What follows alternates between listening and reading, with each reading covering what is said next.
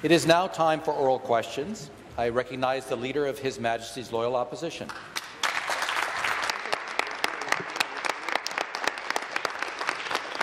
Thank you, Mr. Speaker. My question is to the Premier. Standing here today in this seat, I'm feeling the weight of the important role that we in the official opposition have in this province. A lot of people are counting on us. People are struggling.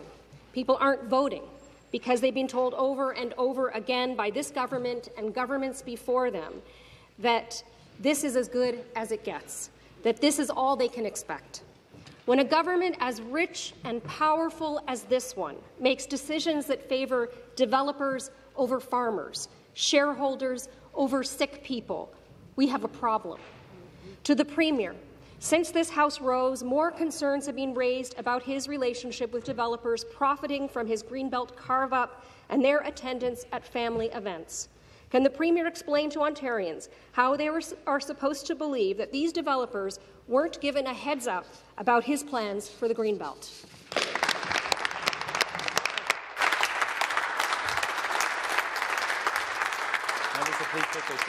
The Premier.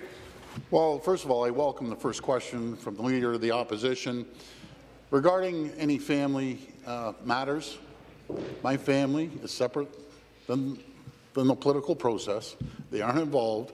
I had an opportunity to speak to the Integrity Commissioner, Mr. Speaker. I asked him for his opinion, and he found there was no violation. Again, this event was cleared by the Integrity Commissioner. The supplementary question. Thank you, Mr. Speaker. Um, Speaker, I want to be clear. This is not about the Premier's family. It is about the Premier's behaviour. It's about accountability and the integrity of the office that he holds. Sources told reporters they felt pressured to attend, and some were asked for additional donations of up to $1,000. Did anyone in the Premier's office or any other government staff have a role in making the invitation list for this family fundraiser? The Government House Leader. Mr. Speaker. I think the Premier has, uh, has already responded to that, and uh, uh, as uh, the Commissioner al al also responded to that, Mr. Speaker. But at the same time, uh, uh, we are continuing to move forward as a government to ensure that we continue to build a strong, prosperous Ontario, and it is seen throughout the province of Ontario, whether you travel to the north, the south, east, and the west the province of Ontario is moving in a very good direction. We are seeing thousands of jobs being created, Mr. Speaker. We are seeing investments come back to the province of Ontario. That is what we continue to fight for, Mr. Speaker. Yes, we're also fighting to ensure that young families can afford to get their first home, something that almost everybody in this place has enjoyed reasons why families and people came to this province, to this country for generations, Mr. Speaker, is because they wanted the dignity and the hope and the optimism that they could also enjoy that first home. And we are going to do everything in our power to Response. make sure that all Ontarians can enjoy that type of optimism and success for the future, Mr. Speaker. The final supplementary. Speaker, it really should not be too much to ask for the Premier of this province to answer the questions that Ontarians have. Again? Right. Well, the Premier has a close relationship with developers. We know that. He's acknowledged it. But when the guest list for a family event includes the very developers who later benefited from this government's MZOs and Greenbelt sale, something doesn't sit right. The government has a history of very specific land decisions that somehow end up benefiting their friends and their donors. Does the Premier understand how bad this looks? Not just for the Premier, but for the integrity of his government. Government House Leader. Mr. Speaker, I think, uh, again, uh, both the Commissioner uh, has, uh, has responded uh, as well as the Premier, Mr. Speaker. Yes, we are making decisions that will put more of the valuable resources of the province of Ontario available for families, for young Canadians who want to be able to buy that first home. But we didn't just start last week. We started from 2018, Mr. Speaker, and at every step of the way, every step of the way, the opposition has been opposed to that. When we brought on transit-oriented communities to, to build housing around the transit infrastructure, which, by the way, Mr. Speaker, is the largest investment in transit in the history of this province, if not the country, Mr. Speaker. We brought in rules to, to build transit-oriented communities They voted against it, Mr. Speaker, so it is no surprise that they are against building more homes for people. It is that hope and optimism that we have been fighting for since we were elected, since the Progressive Conservative government was even formed. Response. We knew that the people of this province wanted a prosperous province, but they also wanted the hope and dignity of having their first home, and we are going to do everything in our power to make sure that that is affordable for everybody. Thank you. The next question. Once again, the Leader of His Majesty's Loyal Opposition. Mr. Speaker, you want, you want affordable housing? Don't build luxury urban sprawl. Let's start there. Speaker, the government doesn't like it because they know that their integrity is in question. And the Premier doesn't like to answer questions because he knows where it leads. On Friday, the Public Order Emergency Commission published their report on the use of the Emergencies Act, and the findings are very distressing.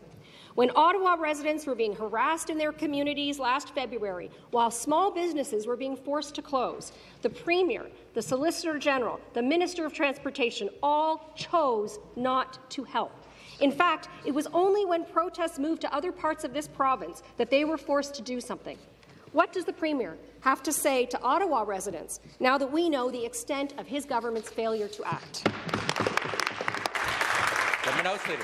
Thank you very much, Mr. Speaker. I think what the report did highlight is uh, the important work that was being done by the uh, OPP for many months leading up to that, Mr. Speaker. And of course, where there are lessons to be learned with respect to uh, better coordination between our, uh, our, whether it's the Parliamentary Protective Service, the OPP, the RCMP, and in this instance, the Ottawa Police Service will do that. But, Mr. Speaker, we are moving forward and we are looking ahead. We are building an economy that is stronger coming out of COVID than it was before, Mr. Speaker. That is what we are continuing to focus on. Whether it's the thousands of jobs and billions of dollars investments that the Premier and the Minister of Economic Development have brought to this province, Mr. Speaker, whether it is the groundbreaking uh, transit uh, system that uh, the, the Minister of Transportation is bringing on, the Minister of Infrastructure, who is bringing, for the first time, broadband services to the entire province. And you know what that means, Mr. Speaker?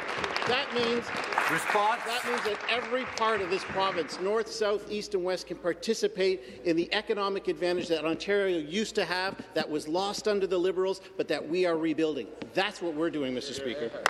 The supplementary question. Well, no, no answers there. No answers there. Speaker, witnesses told the Commission that this government was, and I quote, trying to avoid responsibility for a crisis within its borders. While federal and municipal officials were meeting regularly to try and navigate this crisis, Ontario's premier and the ministers responsible ghosted the people of Ottawa. The report's chapter on the provincial response is actually titled Ontario's Absence. Why was the Premier absent? And I really hope the Premier will answer this question for the people of Ontario and the people of Ottawa. Why was the Premier absent when the people of Ottawa needed his help? Members please take their seats. Government House Leader. Uh, thank you, Mr. Speaker. Again, I think the report is very clear that the OPP had resources on the ground for many months uh, uh, in advance uh, of this, and we're sharing Order. and we're sharing information with police services not only in Ottawa but across the province. But as I said, uh, if there are lessons to be learned uh, with respect to better coordination of emergency services on the ground in Ottawa and how they communicate, we will, uh, we will uh, take a look at that. But we are moving forward, Mr. Speaker. We are moving beyond COVID to build an Ontario economy that is stronger than it was coming, going into COVID. We have not stopped on that. As I just said, billions of dollars in economic activity, thousands of jobs are being created in the province of Ontario. We're cutting taxes for the lowest income Ontarians so that they can participate. We're putting billions of dollars investments into Northern Ontario because for far too long the North was ignored, Mr. Speaker. Now, the opposition the opposition can continue to look backwards, Mr. Speaker. They can continue to forget about the economy. They can continue to forget Response. about and vote against these investments that we're making. But we are looking forward because that's what the people of Ontario want. They want a stronger economy, and that's what we're doing every day, building a stronger, more prosperous Ontario. The final supplementary. Well, Speaker, Ontarians across this province right now are going to be shaking their heads, shaking their heads after hearing that. Uh, not even getting the, having the decency of having the Premier respond to the questions that Ontarians have about these very important issues. The very integrity of their government is at stake here, but they won't answer the questions. When the people of Ottawa needed help, the Premier sat on his hands. But when wealthy developers want to turn a profit on protected greenbelt land, suddenly the law was changed like that. Right? Is this how our province works now? One set of rules for the Premier's friends and associates, and another for everyone else. Yeah, that's how it is. Government House Leader. Actually, Mr. Speaker, the way the province works is that a government, this government, is working every single day to build a more prosperous, strong Ontario, Mr. Speaker. And it's not just it's not just about the economy, right? In order to have a strong economy, you need a better healthcare system. We're building it. Billions of dollars of investments there. We needed a better education system. Our Minister of Education is doing that. The Minister of Energy who, uh, who inherited a file that was in chaos. In chaos has brought stability back to our system, Mr. Speaker, which has allowed the Minister of Economic Development and this Premier to bring thousands of jobs back to Ontario, billions of dollars of investments, Mr. Speaker. And the biggest part of that, too, Mr. Speaker, is that we're not ignoring the North. We're bringing them in to this, Mr. Speaker. At the same time, the Minister of Labour has been working very hard with Response. our partners in Labour to ensure that all of these thousands of jobs that remain unfilled can be filled by the people of the province of Ontario, that they have the skills that they need to help us continue to build a more prosperous, stronger Ontario, a better Ontario that we, that we inherit, than we inherited, and a stronger one than going into COVID. Very much. The next question, the member for Nickel Belt. Oh, Monsieur le Président, ma question est pour Mr. Speaker, my question is for the Premier. In the last 12 months, Ontario emergency rooms have closed at least 158 times. This is the equivalent of 184 days when the urgent medical needs of Ontarians were not being met in their communities. Speaker, these closures are unacceptable. They put people, health, and lives at risk. Why hasn't the Premier acted to address the crisis in our emergency rooms? Deputy Premier and Minister of Health. Thank you, Speaker. Uh, the one thing that uh, member opposite and I can agree on is that, in fact, it is not acceptable. However, I think that the numbers show that we've actually avoided, through the use of Ontario Health, making sure that we fully utilize emergency department locums. We've actually avoided almost 2,000 of these uh, emergency department closures. We are building, through your health plan, capacity to add emergency physicians, primary care physicians, nurses. Except you, we have now a plan that actually gives us an opportunity to serve the people of Ontario through their primary care physicians, through their hospital network, ensuring that when people need the care they deserve and expect in the province of Ontario through a fully funded, prov- provincially funded system, we will be there with that support. Thank you. The supplementary question. Speaker, I never thought I would see the day when Ontario's emergency rooms would close so frequently. In Perth and Smiths Falls, their ER was closed for three weeks straight. In Chesley, their ERs was closed for 50 long days and nights. The closure constitutes a crisis and is being driven by staff shortages. But the situation cannot be fixed if this government continues to cap the wages of nurses and healthcare workers. When will the government finally prioritize the health of Ontarians, respect our healthcare workers, and keep our ERs open? Premier. Well, thank you for that question, Mr. Speaker. We know after 15 years of neglect how we had health, hallway health care. We're fixing Order. health care, and you're blocking health care every step of the way. Order. You know, the, the, the, opposition wants to have endless debates about our healthcare system, Mr. Speaker, but the people of Ontario just want to make sure they see action happening, and that's exactly what we're doing.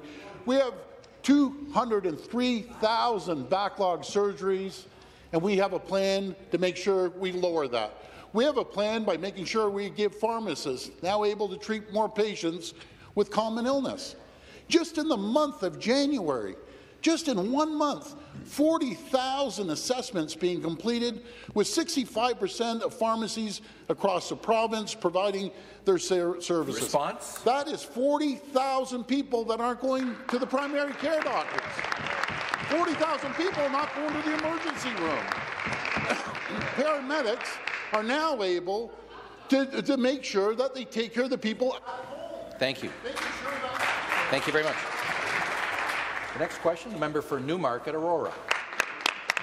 Thank you, Mr. Speaker. My question is for the Minister of Economic Development, Job Creation and Trade.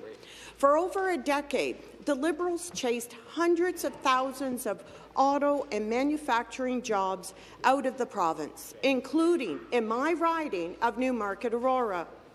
They simply left the people of Ontario unprepared for the EV future. That's why we have taken action to rebuild the province's auto sector, all while growing the economy and creating good jobs. Speaker, in a sector that employs hundreds of thousands of workers, will the minister explain how the government is attracting new investments and ensuring that Ontario is open for business? Minister of Economic Development, Job Creation and Trade. Mr. Speaker, Ontario has again become the top auto jurisdiction. And to build on this, our government is transforming Ontario's automotive supply chain to build the cars of the future. We're doing this because we lowered the cost of doing business by $7 billion annually, and as a result, we have attracted $17 billion in transformative auto investments in two years. Last week, Magna International announced an historic investment of almost half a billion dollars into six of their Ontario plants.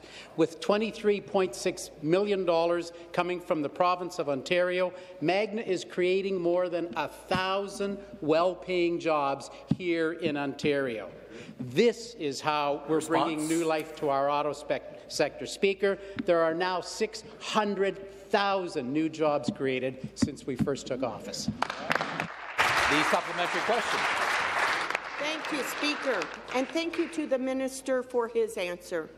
It's great to hear that the government is focusing on the province's auto sector and attracting significant investments to the province. We understand these types of investments are only possible because the government is following the Driving Prosperity Plan to make Ontario an important part of the EV revolution, especially in southwestern Ontario. Speaker, the Magna historic investment and expansion plans in the province can the minister please elaborate on how this project will help create jobs in my great riding of Newmarket Aurora, as well as across the province? of Economic Development. Speaker, this game-changing investment by Magna will create over a thousand well-paying jobs in communities all across the province. This includes the opening of a $265 million EV battery enclosure facility in Brampton, creating approximately 560 new jobs in that region. But Magna is expanding their manufacturing facilities elsewhere. In Belleville, a $35 million investment will create up to 100 new jobs. In Windsor, they're creating 110 new jobs. In Penetanguishene, 15 new jobs. In Guelph, a $140 million investment will create 175 new jobs. And in the members' riding, a $24 million investment in Newmarket is creating approximately 75 jobs. Speaker, these jobs are, be, are being created all across the province because we are building all of Ontario. The next question, the member for Sudbury. Thank you very much, Speaker. Uh, my question is for the Premier. Speaker, this morning the Ontario Federation of Labour, the Ontario Nurses Association, and many other representatives of Ontario's workers put the Conservative government on notice that they're fed up with being ignored. They're saying enough is enough. ONA nurses and Ontario healthcare workers are demanding that the Conservative government finally show the respect that nurses and other frontline healthcare workers deserve. My question, Speaker, is when will the Premier finally listen to Ontario's demands for more public funding for public health care, for an end to the staffing crisis, for the full repeal of Bill 124, and for decent wages and working conditions for all workers in our healthcare system? Minister of Health. Speaker, with the greatest of respect, a $14 billion increase in healthcare spending since 2018 suggests quite the opposite, that we have in fact invested in our healthcare professionals. We are investing in our primary care docs. We are investing in our home care and our hospitals. We are doing that because we understand and appreciate that the status quo is no longer an option. We will continue to make those investments, and while the negotiations happen with the Ontario Hospital Association and ONA, we will continue to invest because that is what a government does when they understand the people of Ontario deserve a publicly funded healthcare system, and they will get that under Premier Ford. Supplementary question. Thank you, Speaker. Back to the Premier. It seems like Groundhog Day again because Conservatives love to pretend that they care about healthcare workers and frontline workers and nurses. They use them as photo ops during the pandemic, all while underfunding healthcare, freezing their wages, and making working conditions worse. This Thursday, Speaker, there will be thousands of public healthcare workers and supporters joining in solidarity, echo and amplify Ontario's nursing demands for better staffing, for better care, and for better wages. Nurses in Ontario, Speaker, are saying enough is enough, and so are New Democrats. My question is, will the Premier and the Minister of Health be visiting those demonstrations with New Democrats on Thursday, or are they too afraid of what they'll hear from Ontario's frontline healthcare workers? Members will please take their seats. And the Minister of Health to reply. Thank you, Speaker. You know, when the House rose in December, um, Many members of our party, our Premier, myself, many members, went around and spoke to their constituents, to their uh, stakeholders. And I've had an amazing opportunity to meet frontline professionals who are innovating, who are making sure that the service that the, their patients want and deserve are available. They are telling us that the investments that they are seeing in their local hospitals, whether it's an investment in pediatric beds at CHEO, whether it is, is an increase in hospital Order. bills, 50 different hospital bills in the province of Ontario, whether they are Order. new hospitals, expanded hospitals, or renovations. Unprecedented, the amount of money that we are making sure that the people of Ontario get the health care they need Response? in their community in a timely way. Thank you, Speaker. Thank you. The next question, the member for Brantford Brant. Thank you, Speaker. My question is for the Minister of Energy. As Ontario's population continues to grow, we must address our future energy infrastructure needs today. The previous government, supported by the opposition, created a mess in our energy system. This mess led to the people of Ontario facing some of the highest bills in North America. For our economy to grow, in our province to continue to prosper, we need to support innovative and bold solutions that meet our ongoing energy needs. Speaker, what is our government doing to provide affordable and clean energy solutions for the people of my riding, both now and into the future? Thank you. And to reply, the Minister of Energy. Mr. Speaker, and thanks to the member opposite from Brantford Brant for that uh, great question this morning. Ontario has a world-class electricity system, 90% emissions-free. We get over 60% of our power from our nuclear fleet, emissions-free. We get about 25% from our hydro fleet, emissions free, Mr. Speaker. There are about 33,000 other generators across the province, wind and solar and biomass facilities, Speaker. Many of those facilities are still producing power at night, though, when demand is low at off-peak times. And under the former Liberal government, what we had happen was this surplus power was sold to neighbouring jurisdictions at a loss. So we're bringing that to an end, Mr. Speaker, thanks to our government's work on the Oneida Battery Storage Project, one of the largest battery storage projects in the world, Mr. Speaker. We're partnering with Response? the Six Nations of the Grand River to build this.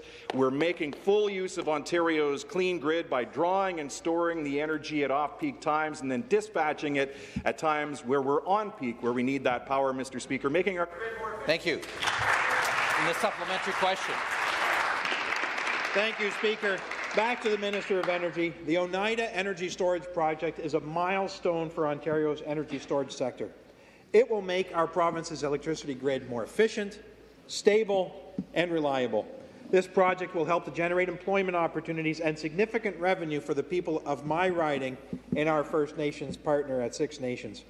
Battery storage projects like these are instrumental for our economy, our environment, and helping to promote reconciliation with Indigenous communities. Speaker, can the minister please elaborate on how this project will help advance plans for improving the entire electricity grid system? Thank you. And the Minister of Energy.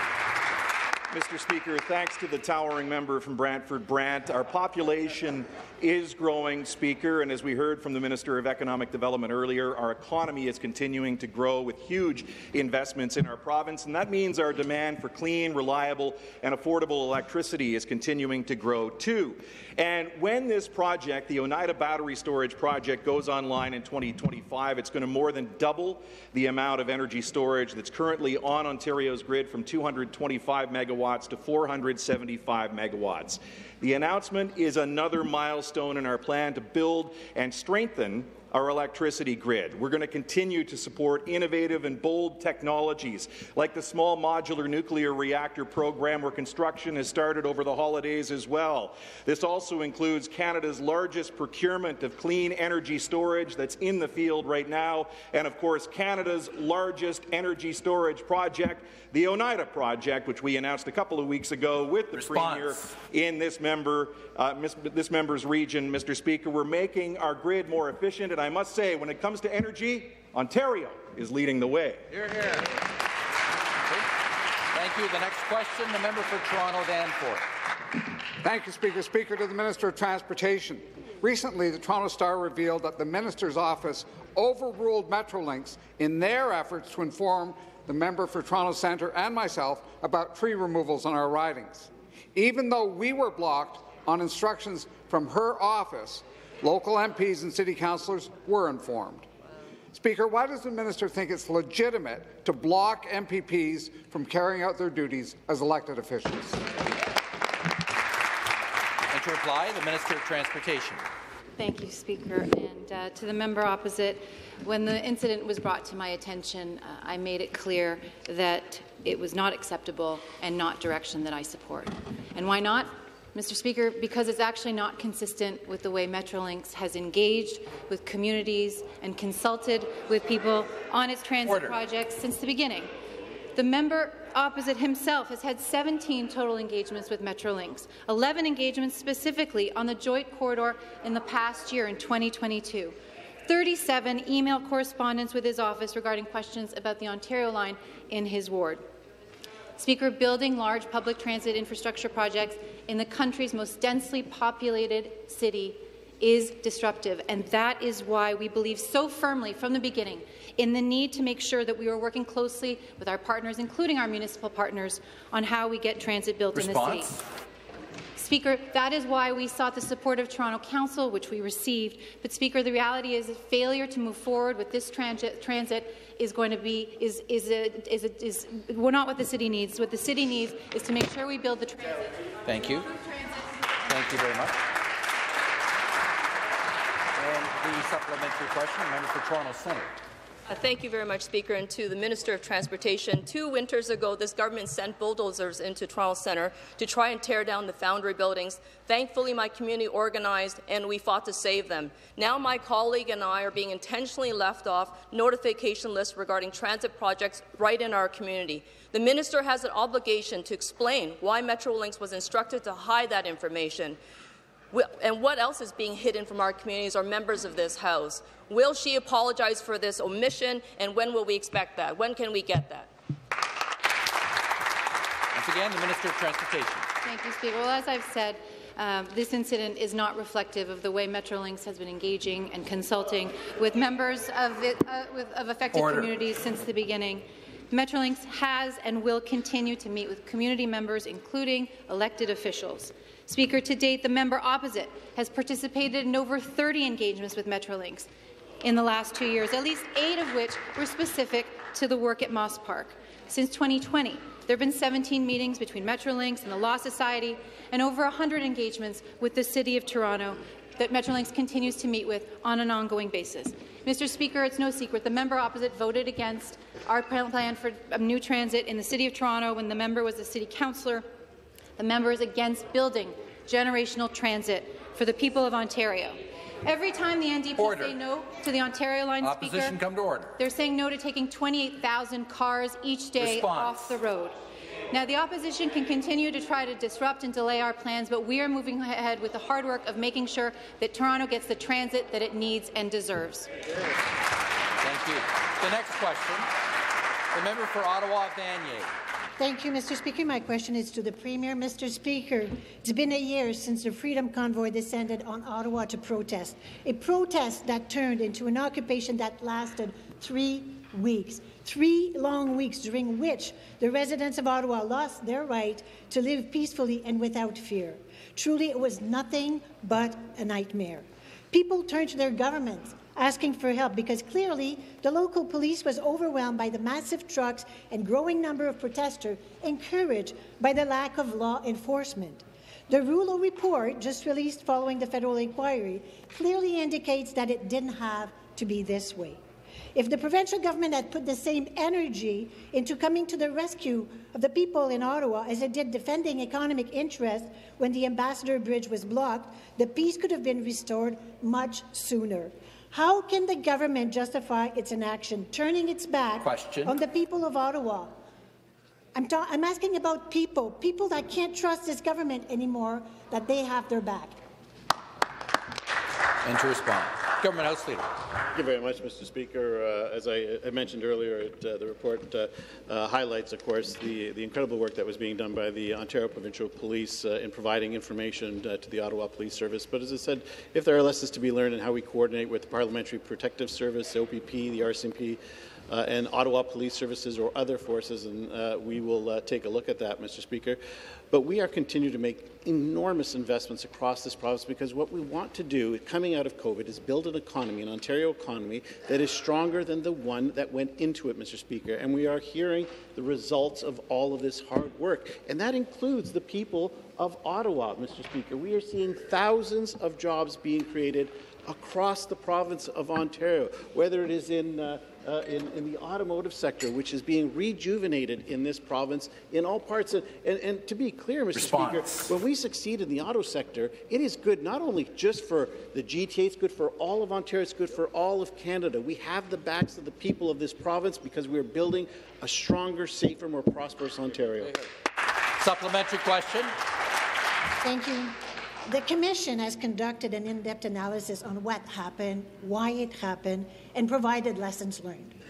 This important analysis was possible because of the transparency of the Commission process and the numerous civil servants and political leaders that came forward and provided valuable testimonies. However, there was one political entity missing in action, and that was our provincial government. Our government was missing in action during the occupation, despite numerous calls from myself and several colleagues here on this side of the House. And our government remained missing in action during the inquiry, refusing to appear to provide useful evidence in order to avoid another disaster of the sort. Our government invoked parliamentary privilege to shield itself from transparency. But Ontarians and the people in Ottawa deserve a response. So why did the government refuse to participate in the inquiry? Question. How are the people supposed to trust a government that is hiding from its duty and responsibilities? Government House Leader. Uh, thank you, Mr. Speaker. Again, there were uh, significant uh, representations from the province of Ontario, including, as I had mentioned uh, before, uh, uh, Deputy Minister, the, the OPP Commissioner Uh, was there as well, Mr. Speaker. I remind the member uh, as well uh, that the province of Ontario, this legislature, of course, had a select committee which was reviewing the state of emergency here in the province of Ontario throughout the time that the convoy was was in Ottawa, Mr. Speaker, and that also included members of the independent members. But we are looking forward, Mr. Speaker. We're looking forward to building a better economy.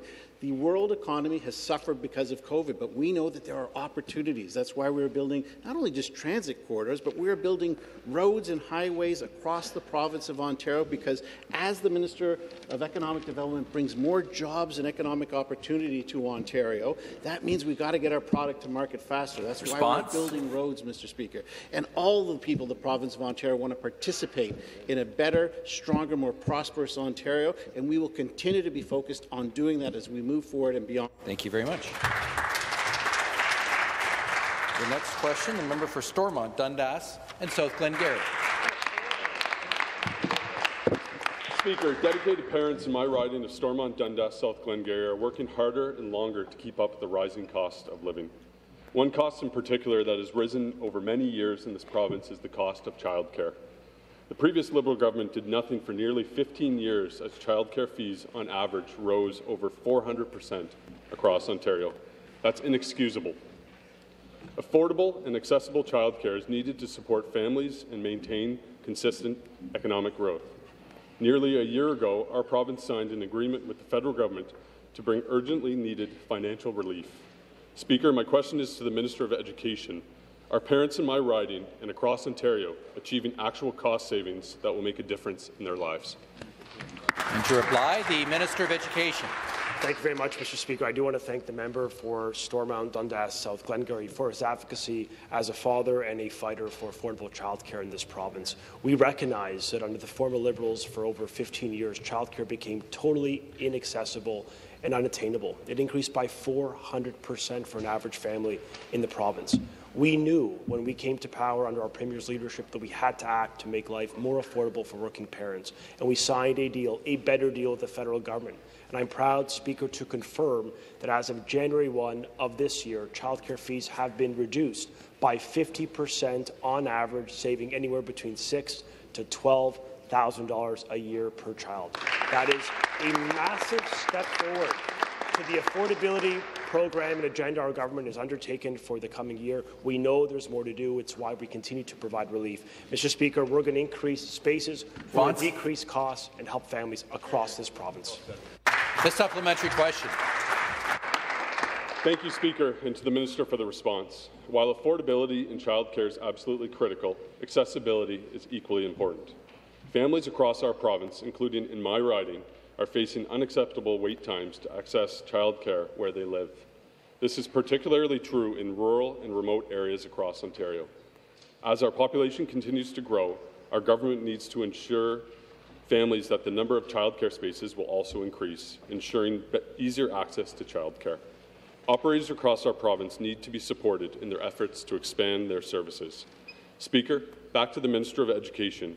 What is our government's plan to increase access to affordable childcare for parents in Ontario? Minister of Education. Uh, well, thank you, Speaker. And again, thank you to the member for this question. We know that we need to build more spaces uh, to meet the demand for rising, the rising demand in our province for families who are looking for affordable childcare in their communities. Too many small towns, rural communities, remote parts of our province in the north, but increasingly even in suburban communities and urban communities, families under the former government have had to wait years on a wait list. Unacceptable. And our government undertook a plan which we've implemented to make fees uh, much more affordable, a 50% reduction to date as of January 1, with a commitment to build spaces. We've announced with the Minister of Women's Social and Economic Opportunity, together we announced a plan to build 53,000 net new spaces. Mr. Speaker, that's going to mean in Peel, 7,000 more spaces, in Simcoe, 3,000 more spaces, in the members' riding, another 465 for Cornwall, another 827 in Hastings, 750 in Brantford. We are making this a reality by building spaces, reducing fees, helping families across this province, Speaker. The next question, the member for Ottawa West Nepean. Speaker, last week the Public Order Emergency Commission confirmed what Ottawa residents already knew, that in the midst of the crisis last year, the Premier and his ministers abandoned us. One section of the report says it all, Speaker, Ontario's absence. Justice Rouleau noted that the situation could have been resolved earlier, but the Premier refused to engage and repeatedly tried to shift his responsibility to others. Will the Premier finally take responsibility now, a year later, and apologize to the people of Ottawa? Reply, the Government House Leader. Thank you, Mr. Speaker. As I've said on a number of occasions, uh, the report is quite clear that uh, the OPP uh, were on the ground and were prepared to assist, uh, and in fact, we're providing information to uh, uh, the Ottawa Police Service. But I think there are some lessons to be learned with respect to uh, how we communicate with each other, be it the OPP, the Parliamentary Protective Service, the RCMP, and the Ottawa police service uh, in uh, in future, Mr. Speaker. But again, we are beginning. We are looking forward. We have not stopped doing that. Really, we are building a bigger, better, stronger Ontario for all of the people of the province of Ontario. And I look at the investments in particular that we are making in Ottawa. The healthcare investments that the uh, the Minister of Health has has brought to Ottawa, the Children's Hospital of Eastern Ontario, the Civic. These are billions of dollars of investments to bring Ottawa's healthcare system up to date. Come, add on to that the investments that we're making in long-term care in Ottawa. Go further than that, Mr. Speaker. The investments that the Minister of Colleges is, uh, is making. Response. And the fact that we have brought back thousands of jobs in, in, uh, in the automotive sector, which means that the high-tech sector of Ottawa can participate in building the cars and vehicles of tomorrow. Good news for Ottawa. Thank you. The supplementary question, the member for Ottawa Centre. Thank you, Speaker. Back to the Premier. I really hope the Premier himself will answer the question that my colleague just posed. Look, I think one of the biggest things we can do in politics sometimes, and it's not easy, is to admit when we're wrong, Speaker. And we now have a federal commission that said a few embarrassing things about this government. It said the Solicitor General said in response to the Public Safety Minister requesting a minute meeting, you're not my effing boss. That was act number one. The Mayor of Ottawa asked the Premier, will you please come to these meetings with your political colleagues? And the Premier said, it's not worth my time. Huh? And then, to add insult to injury, when Justice Rouleau asked this government, asked the Premier, asked then Solicitor General Jones to come to Ottawa to appear before the Commission, they invoked parliamentary privilege and ran and hid. Now is your opportunity to turn the page. It's our first day back. Acknowledge you made Question. a mistake. Apologize to the people of Ottawa. Hear, hear. Government House Leader. Again, uh, uh, the report uh, uh highlights quite uh, effectively, Mr. Speaker, the work that was being done by the Ontario Provincial Police to help provide uh, information. In fact, the OPP had started uh, a couple of years earlier uh, accumulating information and providing that information not only to the Ottawa Police Service but many of the police forces uh, around uh, the province of Ontario. Uh, I know there, you know, many of the opposition members seem to be suggesting that there should be greater debate with respect to who directs the police in times of, uh, of emergencies, whether it should be politicians or it should be the police themselves. That is a debate that the opposition is welcome uh, to bring forward. But we are moving forward, Mr. Speaker, in building a, a better Ontario. Many of the people of this province suffered during COVID, and we want to make sure that as we put COVID behind us, we build a strong economy Order. where all Ontarians can, can participate, whether that is building Response. thousands of new houses so that people can afford to buy their first home, whether that is the work that is being done by economic development, the agriculture minister who for the first time is putting agriculture to the top of the list because we understand. Thank you. Thank you very much. Next question, the member for Ottawa Orléans. Uh, thank you very much, uh, Mr. Speaker. It's nice to finally be back. My question is uh, for the Premier. Uh, Mr. Speaker, perhaps the most important priority any government uh, should have is the health of the citizens that it represents. And a, crit a, critical element of maintaining good health is regular access to your family doctor or other primary care professional. Right now, here in Ontario, there are 2.2 million Ontarians without access to a family doctor. That's almost 15 percent of the population, Mr. Speaker, and it's up from 1.8 million just, uh, just a few years ago.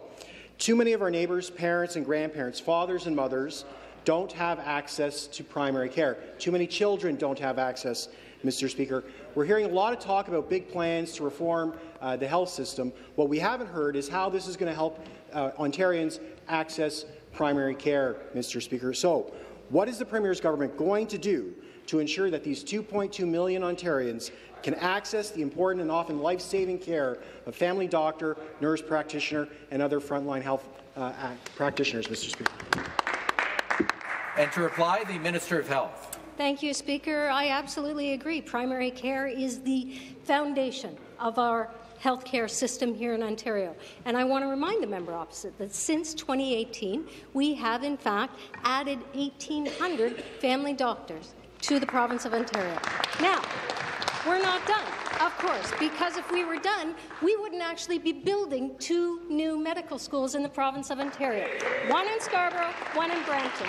That is a historic investment and an acknowledgement, frankly, that we need to build a healthcare system that's going to be there for an expanded population, for an aging population, to make sure that they get that foundation of a primary care physician that will ultimately add to all of the clinical pieces that we are building to make sure that we have sufficient surgical units. Response? We have sufficient diagnostic units. We have sufficient nurses, Order. personal support workers. We get it. We're making the investments, and you see that as recently as last month when. Okay. Thank you very much. Thank you. The supplementary question. Thank you, Mr. Speaker. It's also uh, my supplementary is also for the Premier. Since 2018, more Ontarians are lacking access to a family doctor, not fewer Ontarians, Mr. Speaker. Like every other part of the province, the shortage of family doctors is having a profound impact on my own hometown in Ottawa. Ottawa Public Health estimates that some 150,000 Ottawa residents don't have access to primary care, and OPH admits that this number could be wildly underestimated. And the problem is only getting worse. In the first six months of the pandemic, twice as many family physicians stopped work completely uh, compared to trends from the previous decade. In Orleans, several family doctors have announced that they're closing their practices later this spring. Some of these are very young doctors, Mr. Speaker. They're not closing due to retirement. They're closing because of the challenges within the healthcare system and the lack of support from this government. This is leaving potentially thousands more residents in a lurch without primary care. Now, a group of community leaders, not-for-profit groups, are coming together to explore the creation of a community Question. health centre for Orleans and for East Ottawa. Will the government support the creation of a new community health centre in East Ottawa to provide primary care to these residents? Minister of Health. Thank you. I look forward to the uh, proposal being brought forward for a community health centre. There is no doubt that we have seen a very successful model where clinicians, whether they, they are dietitians, mental health workers, nurses, nurse practitioners, physicians, coming together in those multidisciplinary clinics actually work very well. So I look forward to that proposal. But I have to ask, with the greatest of respect, did the member opposite vote for or against building two new medical schools in the province of Ontario? Did the member opposite vote for or against capital investments of over 50 new or expanded hospitals? Did the member opposite vote for or against when we actually have expanded primary care, clinicians, nurse-led practitioner, uh, expansion of those clinics? Did the member opposite vote for or against? I know the answer.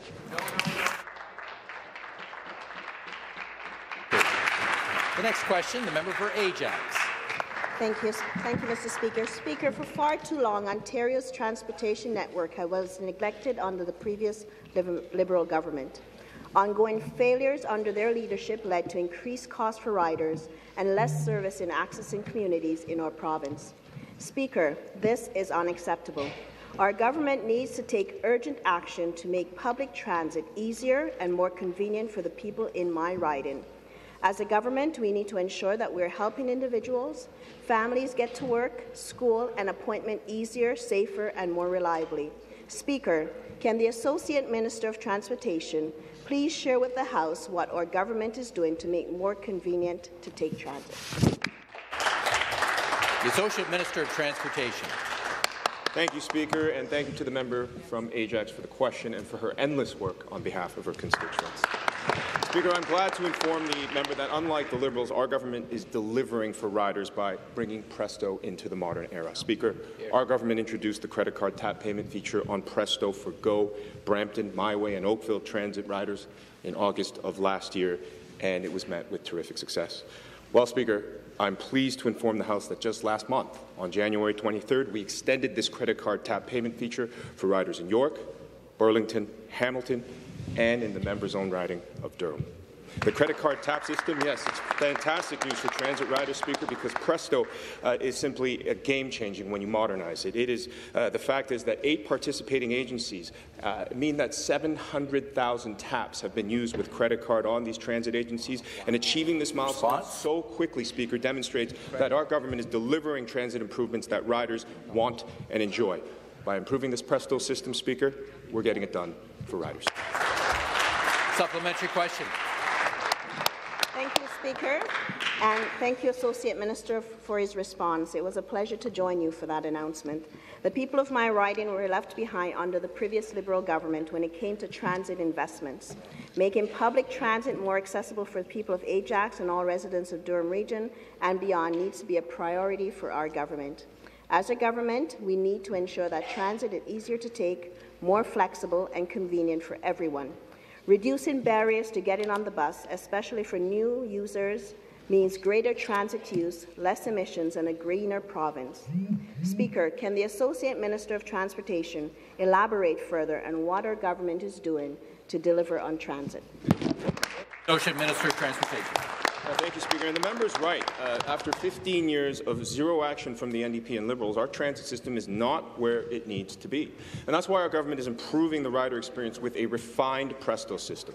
Our government is now building on our introduction of credit card tap features across the rest of the 905. In fact, Speaker, we are working to implement debit tap card payment capabilities at each of these 905 transit agencies that currently accept the credit card payment feature.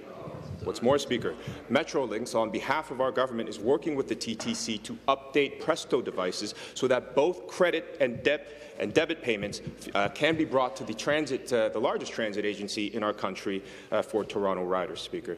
We're not going to stop until we connect the whole grid with these payment options so that commuters can conveniently get to work, to school, wherever they need to be.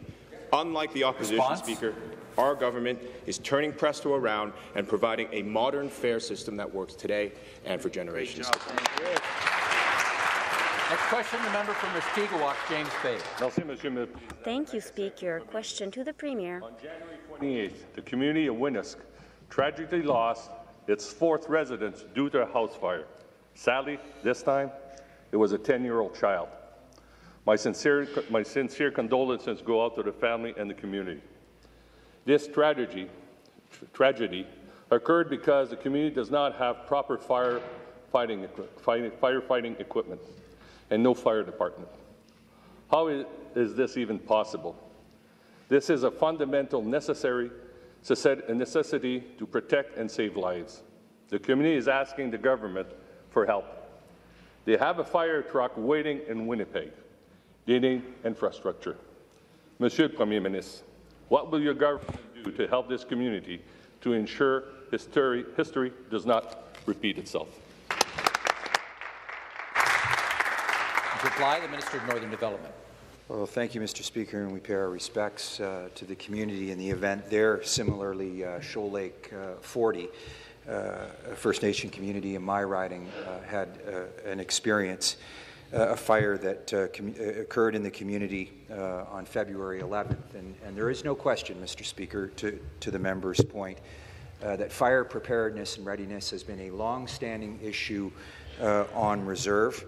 Uh, I have notified the chief in Shoal Lake 40 uh, of our preparedness to, to support them uh, moving forward, uh, Mr. Speaker, and to take a look at options that the province can uh, uh, do, Mr. Speaker, to support Uh, efforts by the federal government to ensure that fire safety and the equipment necessary uh, uh, to enforce that or to bring that to a community, Mr. Speaker, is put in place. It's time. Thanks.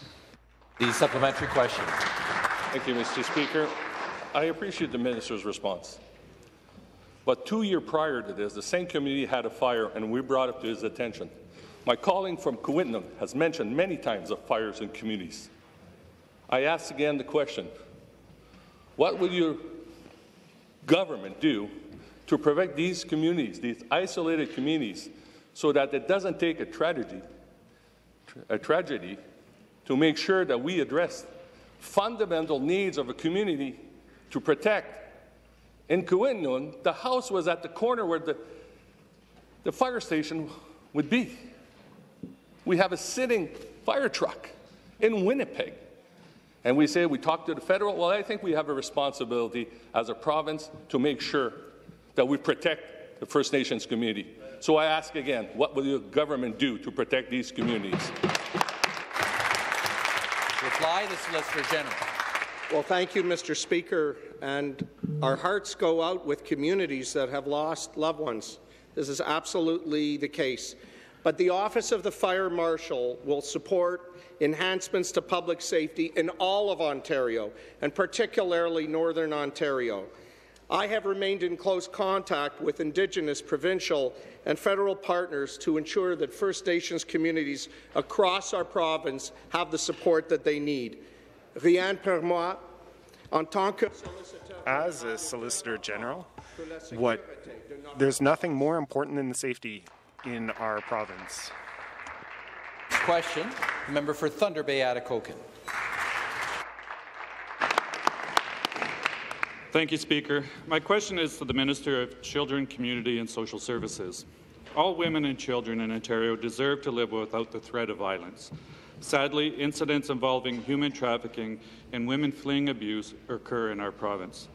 Many women leave Many women that leave these circumstances often face challenges in finding support. These obstacles are more pronounced in rural and remote parts of Ontario, where distances makes accessing resources extremely difficult. Everyone has the right to be safe. As a government, we are responsible for directly addressing this issue. Speaker, what is our government doing to support these women and children? Thank you.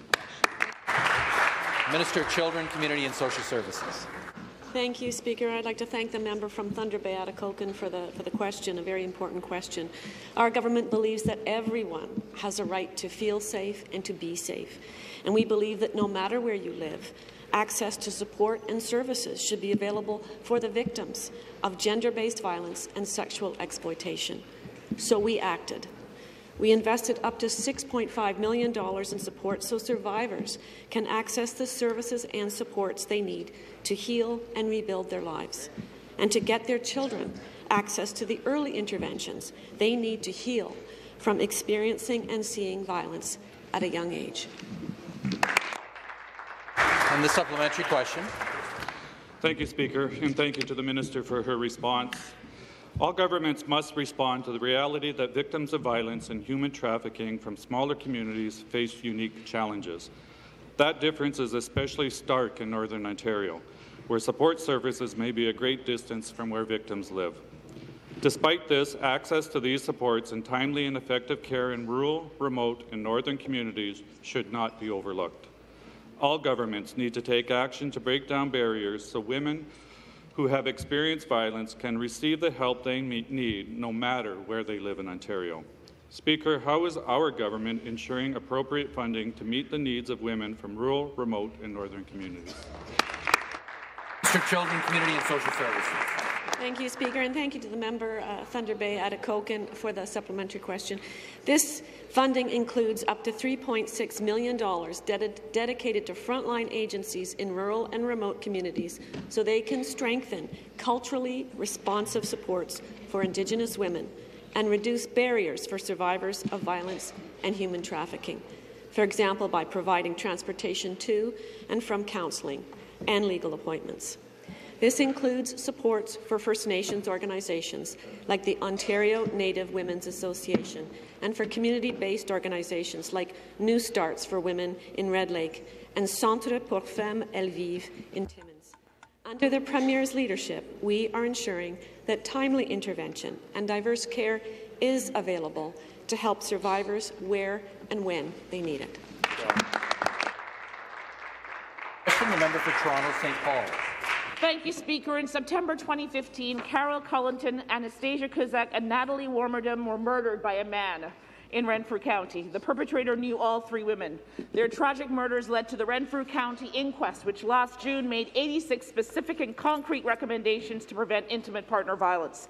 The very first recommendation is to identify the problem and declare intimate partner violence an epidemic. Will the Premier accept the first recommendation from the Renfrew County inquest and declare intimate partner violence an epidemic? Thank you.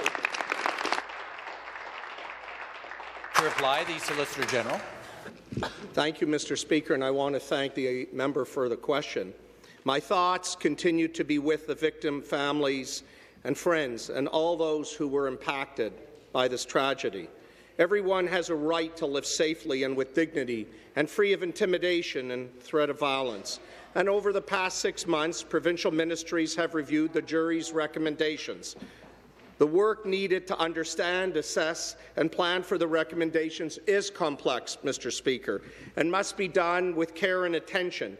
As the relevant ministries work to provide the Office of the Chief Coroner with an update on these recommendations, we're committed to breaking the cycle of intimate partner violence and supporting survivors to help keep our community safe. And I look forward to a completed review and recommendations before the summer. The supplementary question. Speaker, the government did not answer the question. One murder is too many. Since 1990, nearly 1,000 women in Ontario have been victims of femicide. Indigenous, Black, trans and rural women are disproportionately vulnerable. 68 of the inquest recommendations are for this province, therefore the government's responsibility. These are key to supporting rural communities where supports for victims of intimate partner violence are desperately inadequate. I'll ask the government again. Will they implement the first recommendation and name intimate partner violence what it is, an epidemic? And furthermore, will they do recommendation number four and create the role of an independent survivor advocate to advocate on behalf of survivors and their experience in the justice system?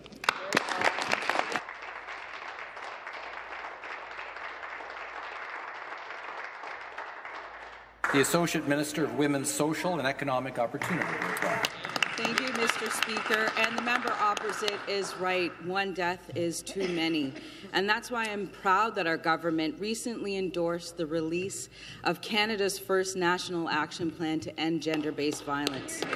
And Ontario led the approach in forwarding the National Action Plan to the FPT Forum of Justice Ministers with a written request that they commit to taking further action to improve justice system responses, including holding perpetrators and offenders accountable.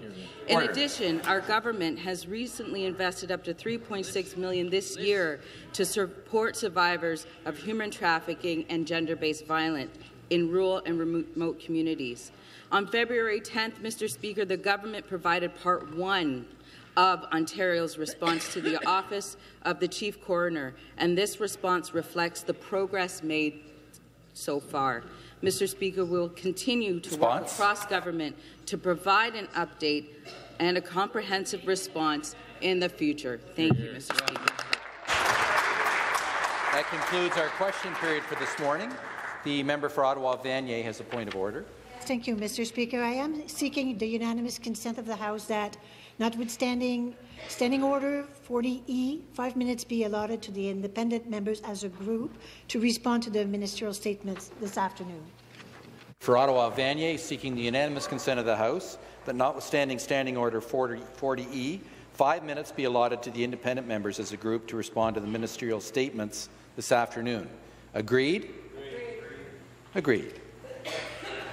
Member for Mississauga Malton has a point of order. Thank you, Mr. Speaker. Mr. Speaker, with utmost pleasure, I want to share the joy of something I have been waiting for over four years to welcome my brother, Shalinder Anand, and his lovely wife, Sweetie Anand, visiting for the first time at this House of Responsibility. Bituvirji, welcome to Queen's Park. Thank you, Mr. Speaker. Thank you. There being no further business this morning, this House stands in recess until 1 p.m.